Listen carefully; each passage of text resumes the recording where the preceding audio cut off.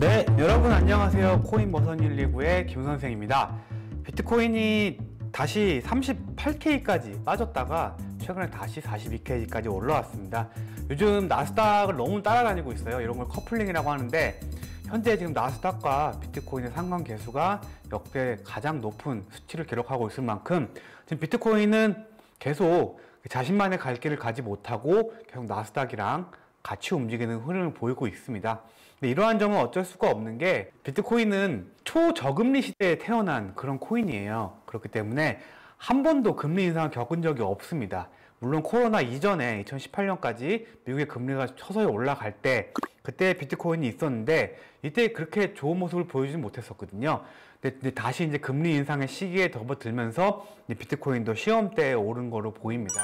다만 구조적으로 어느 정도 성장의 한계가 좀 오고 있는 건 맞고요. 이러한 성장을 더 하기 위해서는 여러 가지 좀 선결되어야 한 과제들이 좀 많이 있죠. 그 중에 하나가 일단은 뭐 나스닥의 의존도를 좀 줄이는 거, 그리고 전 진짜 결제 수단으로서 확실하게 뭔가 수입이 확실해지는 거, 그리고 미국이 5월 FOMC 5월 3일 4일에 열리는데요. 이때 금리 인상 big step 예, 0.5포인트 인상시키고 그 다음에 QT 예, 양적 긴축을 시작함으로써 아마 시장에 한 번 더 충격을 줄 거예요. 여러분들 지금 나스닥이나 비트코인이 일시적으로 상승을 했다고는 하지만 5월 초에 다시 한번 충격이 있을 수 있기 때문에 여러분들 지금 투자는 좀 적극적으로 하시기보다는 조금 관망하시길 바랍니다.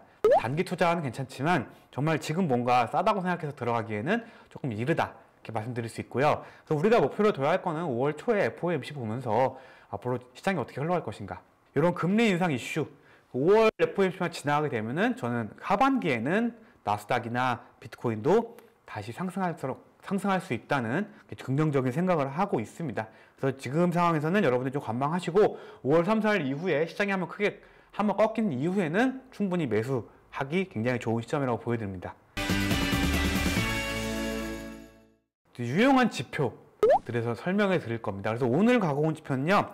제가 가장 오랫동안 공부를 많이 했고 그리고 지금도 간간히 굉장히 살펴보는 지표입니다. 주식 시장에서 가장 좀 유용한 지표로 봤던 지표예요. 근데 제가 코인으로 넘어오면서 코인 시장에서는 잘 안 봤거든요. 근데 최근 다시 좀 보기 시작하는데 생각보다 굉장히 높은 효율성을 보여주고 있고 신뢰성을 보여주고 있고 좀 정확한 투자 투자 포인트를 주는 그런 지표입니다. 여러분도 다 아실 겁니다. 일목균형표입니다. 일목균형표. 실제로 주식시장에서는 많은 사람들이 일목균형표를 보지만 코인 시장에서는 일목균형표를 이렇게 중요시하게 보지 않아요. 일목균형표보다는 뭐 엘리엇 파동이라든가 볼린저 밴드라든가 그리고 뭐 피보나치 수열이라든가 제가 지난번에 한번 설명드렸죠? 그런 것보다 좀 덜 보는 차트 중 하나인데 비트코인 같은 경우에는 365일 24시간 열리잖아요. 그런 상황에서 일목 균형표가 더 빛을 발할 수가 있는 게 일목 균형표가 가장 주, 주력으로 삼는 원인이 바로 시간론이에요. 시간론. 말 그대로 시간의 흐름에 따라서 상승과 하락이 반복된다. 이렇게 음과 양의 조화. 일목균형표 같은 경우는 세계적으로 몇 안 되는, 몇 안 되는 게 아니라 거의 유일하죠. 동양적인 차트 기법입니다. 그래서 오늘은 일목균형표에 대해서 말씀드릴 건데, 일목균형표 여러분들이 굉장히 좀 보기 어렵습니다. 딱 봤을 때 정말 머리 아파요. 아, 저게 뭐야. 안 볼래. 이렇게 생각하는데, 제가 오늘 일목균형표 굉장히 간단하게 설명해 드릴게요. 저는 일목균형표면 거의 2, 3년을 공부했고 실제로 응용을 했던 사람이기 때문에 제가 공부했던 내용을 단 10분, 15분 만에 여러분들한테 설명해 드릴 겁니다. 그래서 여러분들은 제가 말씀드린 걸 쏙쏙 빼가시면 됩니다. 일단 차트를 여시면요. 비트코인 차트입니다. 일봉입니다. 일목균형표를 넣기, 넣기 위해서는 여기 지표를 누르시고요. 그냥 일목 치시면 됩니다. 그러면은 일목 구름이라는 거죠. 그래서 일목 구름 딱 내시면은 이렇게 일목균형표가 형성이 됩니다. 넣자마자 엄청나게 복잡한 그림이 되었죠. 머리 아프죠. 딱 봐도 머리 아프죠. 정말 머리 아프죠. 그래서 일목균형표의 제목의 의미를 말씀드리면은 일목 여러분들 일목요연하다라는 표현 아시죠? 일목요연하다. 한 눈에 보기가 매우 쉽 좋다 그런 얘기거든요. 일목하다, 일목요연하다는 게 그래서 일목균형표라는 거는 일목요연한 균형표. 균형이라는 거는 매수와 매도의 균형. 여러분들 매수와 매도의 균형이 뭘까요? 가격입니다. 가격. 그러니까 한마디로 일목요연하게 가격의 균형을 보여주는 표. 이게 바로 일목균형표입니다. 그래서 이렇게 복잡한 그림이 나왔는데요. 일목균형표를 한번 살펴보면은 제가 하나씩 차분히 설명을 드릴게요. 우선 일목균형표 같은 경우에는 이렇게 놓으시면은 자 conversion line length 그 다음에 base line length 그 다음에 leading span B length lagging span 이렇게 네 가지가 나옵니다. 이게 뭔 얘기냐면은 한글로 번역을 하자면은 conversion line은 전환선입니다. 전환선. 그리고 base line은 기준선. leading span B 이거는 선행 span. 선행 span. 선행 span을 나타냅니다. 그다음에 lagging span은 후행 span을 나타냅니다. 그렇기 때문에 일목균형표는 네 가지의 구성으로 되어 있어요. 전환선, 기준선, 선행 span, 후행 span. 이렇게 네 가지가 되어 있는데 요거 하나씩 살펴볼게요. 예. 우선 conversion line부터 보도록 하겠습니다. 일단, 일단 다 지우고 봐야겠죠? 자, 이 conversion line. 이게 전환선이라는 겁니다. 전환선 말 그대로 전환될 때, 주가가 변동이 될 때 선이 움직임이 변한다는 게 전환선이에요. 그렇기 때문에 보면은 전환선이 내려가기 시작하면 주가가 내려가고 전환선이 올라가게 되면 주가가 올라가게 되죠. 근데 이거는 솔직히 주가의 흐름과 큰 시차가 없어요. 그렇죠, 여러분들? 그렇기 때문에 투자 지표를 활용하기 좀 애매하죠. 그 때문에 전환선 같은 경우에는 기준선을 돌파할 때 전환선이 기준선을 돌파할 때를 매수 타이밍으로 보는 게 있는데 기준선도 한번 볼게요. 기준선 같은 경우에는 기준선은 전환선보다 움직임이 느립니다. 그래서 보시면은 요거를 매매하는 타이밍이 있는데 잘 보시면 아시겠지만 자 빨간색이 기준선입니다. 기준선을 전환선이 돌파할 때 돌파할 때 이럴 때를 매수 타이밍으로 봅니다. 근데 전환선 자체가 굉장히 왔다 갔다 잘하기 때문에 요거를 좀 신뢰하기는 좀 힘들어요. 굉장히 좀 중요한 선이긴 하지만 저는 솔직히 말하면 기준선 전환선을 일목균형표 볼 땐 보진 않습니다. 근데 다만 이러한 숫자 기법도 있다. 왜냐하면은 전환선이 기준선 돌파하고 나서도 하락하는 경우가 있거든요. 그 때문에 그렇게 신뢰도가 높지가 않아요. 전환선 기준선은. 그리고 전환선 기준선은 지지와 저항이 됩니다. 근데 강하진 않아요. 그렇기 때문에 전환선 기준선은 이러한 투자법이 있다. 예, 기준선을 전환선이 돌파할 때 매수, 그 다음에 하락, 하향 돌파할 때 매도. 이렇게 기법이 있지만 요거는 일단 이런 거 정도 알 수 있다고 볼 수 있고요. 그 다음에 추가해야 될 게 선행 span입니다. 선행 span. 여러분들 일목균형표는 구름이 있죠, 항상. 요 구름을 만들어주는 게 바로 선행 스팬입니다. 리딩 스팬 A, B. 이렇게 보이시죠? 그 스팬이 나오게 됐죠? 그래서 지금 잘 안 보이잖아요. 그래서 요거를 좀 잘 보이게 제가 수정을 할게요. 전환선 기준선은 일단 아까 그 정도만 아시면 되고요. 요거는 일단은 삭제를 하겠습니다. 너무 복잡하기 때문에 전환선 기준은 제가 봤을 때는 굳이 안 봐도 되거든요. 아, 먼저 그러면은 후행 스팬을 설명해 드릴게요. 후행 스팬. 좀 밝은 색으로. 보세요. 주가 흐름이랑 똑같이 움직이죠? 근데 26일 전을 나타낸 거예요. 그러니까 한마디로 후행 스팬 자리가 26일 전이라는 겁니다. 그래서 후행 스팬을 매, 수하는 방법은요. 후행 스팬이 주가 위를 돌파할 때가 매수 시점이에요. 이런 식으로. 이런 식으로. 이때 후행 스팬이 밑에서 주가 위를 돌파했을 때. 그리고 반대로 후행 스팬이 주가 밑으로 하락했을 때가 매도 시점입니다. 이건 명확하죠? 예. 그래서 이때도 매수 시점이었겠죠? 그리고 아직까지는 매수 시점이 안 나오고 있죠? 분명 여기서 이제 돌파하기 시작하면은 여기서 매수 시점이 나오겠죠. 근데 아직까지는 아니라는 거죠. 그렇기 때문에 후행 스팬 같은 경우도 매수 포인트 잡기 괜찮긴 한데 요거 같은 경우에는 굉장히 느려요. 굉장히 느립니다. 보세요. 지금부터 올라가지만 여태까지 가려면 아직까지 열흘 이상 남았잖아요. 그럼 지금 매수 못 한다는 얘기거든요. 후행 스팬 같은 경우에는 단타로 좀 사용하기 괜찮습니다. 15분봉 봤을 때도 이런 구간 있잖아요. 예. 이렇게 뚫고 올라왔을 때가 매수 시점. 그럼 요 시점이 한 요 정도 되거든요. 이때가 매수 시점이라는 거죠. 그리고 여기 하락했을 때 이렇게 빠져나갔을 때가 매도 시점. 요때라는 거죠. 그래서 최근에 보면은 주가 밑으로 빠지고 있죠. 그러면은 단기적으로는 지금 약간 매도를 보는 게 맞다고 보고 있습니다. 이렇게 단기적으로 이용할 것 같은데 제가 후행 스팬을 굳이 안 본 이유는 후행 스팬보다는 구름대가 조금 더 정확하고 설득력이 있기 때문입니다. 전환선 기준은 후행 span 같은 경우에는 크게 우리가 이용할 필요는 없다. 그래서 후행 span도 일단 지울게요. 그러면 중요한 거는 리딩 스팬 AB, 선행 스팬입니다. 선행 스팬. 선행 스팬. 구름대 보이시죠? 이 구름을 조금 잘 보이게 제가 편집을 해보겠습니다. 자, 이렇게 구름을 편집을 했습니다. 여러분들 코인은 주식이랑 다르게 녹색이 상승이고 빨간색이 하락입니다. 이거 여러분 헷갈리시면 안 돼요. 녹색이 상승이고 빨간색이 하락입니다. 국내 주식시장 같은 경우에는 빨간색이 상승이고 파란색이 하락이죠. 구름대를 만들었는데요. 이걸 어떻게 활용하냐면요. 굉장히 쉽습니다. 여러분들 외우셔야 돼요. 이 정도는. 자, 이렇게 녹색, 여러분들 비트코인 상승 녹색이랬죠? 녹색 구름, 이렇게 잔뜩 껴있는 거를 양운이라고 합니다. 양운. 여러분들 상승하는 걸 양봉이라고 하잖아요. 그래서 양운이라는 거는 상승의 기운이 만든 구름을 양운이라고 해요. 그 다음에 빨간색을 음운이라고 합니다. 여러분들 하락할 때, 하락할 때 만든 구름이 음운이에요. 빨간색이죠. 그렇기 때문에. 그래서 양운과 음운이 이렇게 나오고 있습니다. 그래서 이게 의미하는 게 뭐냐? 매물대예요. 매물대. 매물대를 얘기합니다. 여러분 구름 자체가 그냥 나타난 게 아니라 매물대예요. 그럼 보세요. 이렇게 계속 이렇게 양운이 나타났잖아요. 그럼 여기 매물대라는 거예요. 매물대. 그리고 하락 매물대, 다시 상승 매물대, 하락 매물대. 이렇게 나타나죠. 그러면 이런 매물대가 뭐냐? 이런 매물대를 이탈하게 되면은 반대편 흐름이 강하게 나온다는 얘기예요. 막말로 보면은 이때 비트코인이 엄청난 상승을 보이다가 요 양운 매물대 있잖아요. 요거를 뚫으면서 급락이 나왔죠. 그렇기 때문에 요 매물대가 무너진다는 거는 급락이 나온다는 거고 다시 하락 매물대를 이기고 매물대를 뚫고 올라왔죠. 그러면서 상승이 나왔죠. 여러분들 항상 중요시해야 되는 게 요런 양운을 뚫고 내려오면 급락이 나오고요. 그 다음에 음운을 뚫고 올라오면 급등이 나와요. 근데 반대로 양운을 뚫고 올라가는 경우는 없습니다.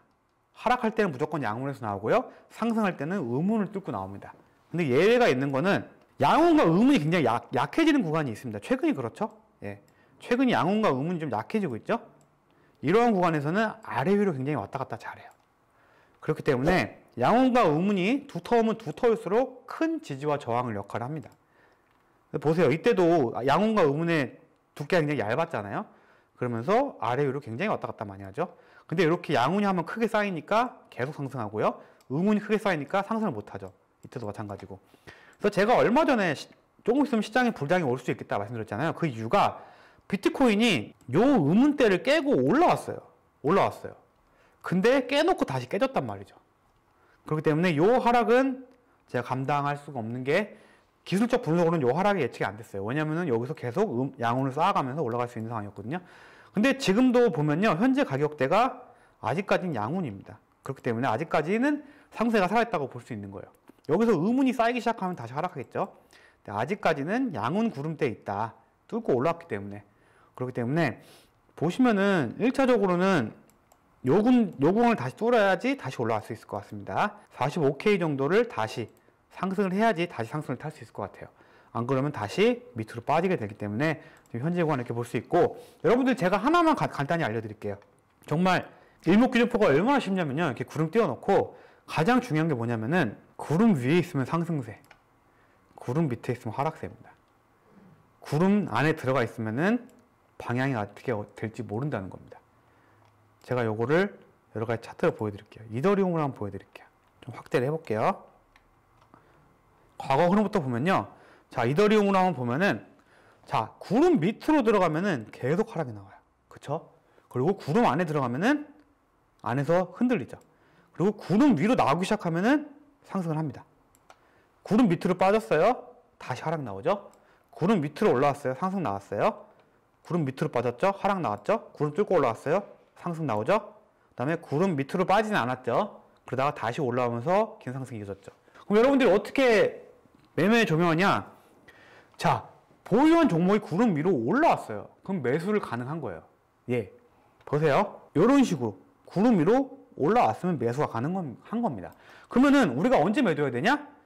구름대를 다시 밑으로 닿을 때, 뚫고 내려갈 때가 아니라 밑에 닿을 때를 매도 시점을 잡아야 돼요. 이거는 어떤 차트를 봐도 다, 다 똑같이 적용, 적용되거든요. 나스닥도 마찬가지입니다. 나스닥 한번 볼게요. 자, 구름 위로 올라왔죠? 여기서 매수하는 거예요. 그러면은 제가 말씀드렸죠? 구름 밑에를 닿을 때가 매도 시점이다. 그럼 이때가 매도 시점 되겠죠. 결국은 다시 올라갔지만 한번 닿았다는 거는 그만큼 이제 하락할 가능성은 커진다는 얘기거든요. 그러면은 여기서 여기까지 고점에서는 매도 못했지만 결국은 여기서 매도하게 된 거죠. 그래서 일단 요거 한 거래는 끝났고요. 반대로 이때도 다시 구름 위로 올라왔죠. 다시 올라왔죠. 그럼 여기서 매수, 여기서 매도. 그리고 구름 위로 올라왔다가 다시 빠지죠. 비트코인도 마찬가지예요. 올라왔습니다. 그럼 다시 상승이 나와야 되는데 다시 빠지죠. 이런 상황이 왜 나왔을까요? 이런 상황이 나온 이유는 바로 FOMC 연준 의원, 의원들이 빅스텝이랑 큐티를 언급했기 때문에 하락이 나온 겁니다. 근데 요거는 돌발적인 악재에 의한 하, 하락이에요. 그럼 여러분들이 이때 어떻게 대응을 했어야 되냐? 뚫었으니까 매수를 했겠죠. 그쵸? 근데 다시 밑에 닿는 순간 손절을 해야 된다는 겁니다. 그럼 여러분들이 매수 시점 언제 잡아야 될까요? 언제 잡아야 될까요? 이게 다시 올라오게 돼서 여기까지 올라오게 되면 다시 매수입니다. 근데 알트코인들은 여러분들 을목균형표를 좀 눈여겨보면 안 되는 게 굉장히 가벼워요, 움직임이.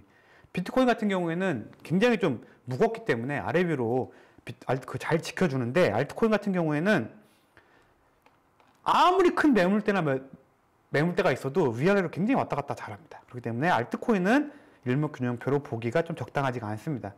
적어도 좀 시총이 큰 그런 코인들 위주로만 일목균형표를 보시기 바랍니다. 일단 비트코인의 현재 상황을 제가 설명드릴게요. 보세요. 1년간의 흐름을 본다면은 비트코인이 작년에 5월에 엄청난 하락 이후에 뚫고 올라와서 여기서 매수가 나왔죠. 매수 이후에 상승이 나왔죠.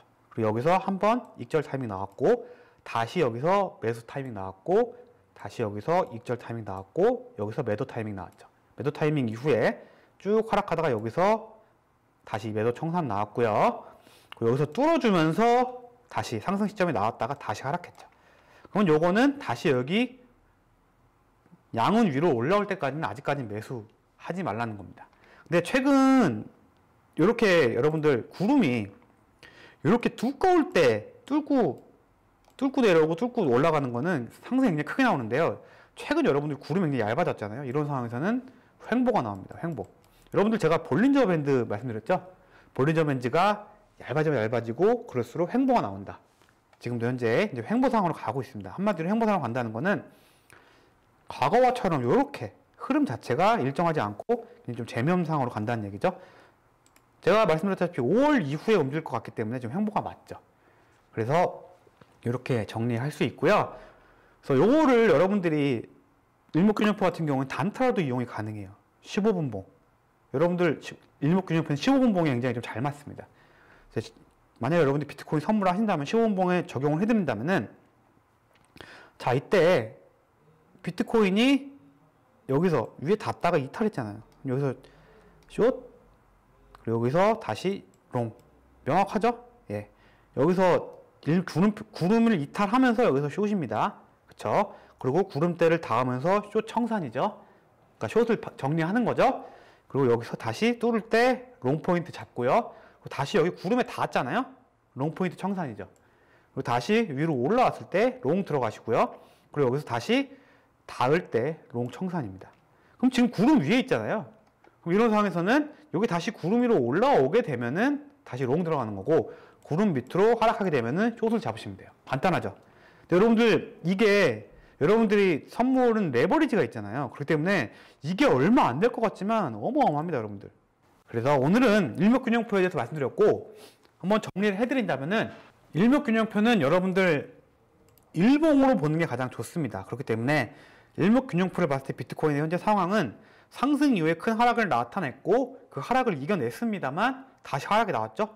그러면 지금 요 하락으로 나온 매물대는 크지는 않습니다. 왜냐하면 이미 한번 뚫었던 매물 때문에. 그러니까 비트코인 지금 현재 횡보할 가능성이 커지고 있습니다. 구름이 일자가 되면서 이런 식으로 예, 횡보할 가능성이 커지고 있다는 거죠. 이런 경우에는 큰 상승이나 하락은 나오지 않아요. 요 안에서 왔다 갔다 할 겁니다. 지금 현재 상황을 볼 수 있고요. 일목균형표 같은 거 제가 정리를 한번 해보, 해드리면은 자 일목균형표 딱 이렇게만 보시면 됩니다. 일목균형표는 기준선, 전환선, 후행스팬, 선행스팬, 구름 이렇게 네 가지로 나눌 수가 있고요. 여러분들 기준선, 전환선은 안 봐도 돼요. 후행스팬도 안 봐도 됩니다. 보는 게 맞긴 하지만 굳이 볼 필요 없어요. 중요한 건 구름대입니다. 구름대는 여러분들 매물대를 나타내고 지지와 저항을 나타냅니다. 그렇기 때문에 구름 주가가 구름 위로 올라오게 되면 상승세 시작하는 거고요. 구름 밑으로 하락하게 되면 하락이 시작된다는 얘기예요. 왜 그럴까요? 구름이 매물대라 그랬죠. 매물대를 뚫고 올라왔다는 거는 그만큼 물량 소화를 다 했고 매물 소화를 했고 앞으로 올라가는데 별로 여러분을 막을 게 없다는 얘기예요. 그리고 구름 안에 갇혀 있을 때가 있어요. 이런 식으로. 이런 데 갇혀 있을 때가 있어요. 이럴 때는 방향성을 알 수가 없어요. 위아래로 가는지 알 수가 없어요. 그렇기 때문에 확실히 이런 상황에서는 구름 위로 나오는지 구름 밑으로 빠지는지를 확인하시고 들어가셔야 됩니다. 아셨죠? 그러면 지금 상황 본다고 해도 지금 구름 안에 갇혀 있죠? 그렇기 때문에 이게 구름 밑으로 빠지면은 하락이 나올 것이고 구름 위로 올라가 올라가면은 상승이 나올 것이다. 이렇게 지금 현재 상황을 파악할 수 있습니다. 그리고 구름 안에는 방향성이 없기 때문에 지금 현재 구름 아니죠. 이럴 때는 구름 안에서는 섣불리 매매를 하지 말자. 이렇게 말씀드릴 수 있습니다. 그래서 오늘 일목균형표 굉장히 좋은 지표예요. 왜냐하면 서양 지표들이 좀 약간 기술적이고 수학적이고 산적이고 통계적인 사상에 기초한다고 하면은 일목균형표는 음양 오행의 원리에 좀 만들어진 지표입니다. 양생음, 음생양입니다. 이게 뭐냐면은 양이 강하면 강할수록 음을 나타내게 돼 있어요. 한마디로 너무 올라가면 올라갈수록 결국은 하락을 나올 수밖에 없습니다. 여러분들 그런 말 있죠? 산이 높아야 골이 깊다. 같은 원리예요. 그리고 하락이 너무 나오다 보면은 결국 상승할 수밖에 없습니다. 이러한 거를 시간적으로 약간 풀어놓은 게 일목균형표예요. 그렇기 때문에 영원한 상승도 없고 영원한 하락도 없다는 얘기입니다. 다만 상승하려는 시초, 하락하려는 시초, 요 구간은 우리가 볼 수 있다는 거죠. 그래서 오늘은 정말 좋은 지표, 정말 쉽습니다. 여러분들 제가 선행스평 후세편 전환에서 다 빼고 딱 요거만 보여드리니까 얼마나 쉽습니까? 일목균형표 굉장히 좋은 지표고 여러분들 주식, 그다음에 선물, 그다음에 비트코인 그리고 많은 것들이 다 대입이 가능해요. 많은 차트 상황. 근데 웬만하면 여러분들이 좀 메이저 종목들 위주로만 사용하시길 바랍니다. 시가총액이 낮은 코인들을 보시면은 이런 구름을 무시하고 막 왔다 갔다 합니다. 그만큼 종목이 가볍다는 겁니다. 그렇기 때문에 좀 큰 종목들, 메인 종목들 위주로 일목균형표만 잘 보셔도 굉장한 승률을 보실 거고 정말 제가 오늘 쉽게 설명해 드렸습니다. 여러분 일목균형표는 무려 7권의 책으로 돼 있어요. 제가 그 내용을 다 요약해가지고 오늘 단시간에 여러분들 설명해 드린 겁니다. 그래서 뭐 자세한 사항은 여러분들 많이 문의해 주시고요. 오늘 방송 이 정도로 마치도록 하겠습니다. 저는 코인머선 129의 김 선생이었고요. 다음 시간에도 더 좋은 콘텐츠로 돌아오도록 하겠습니다. 감사합니다.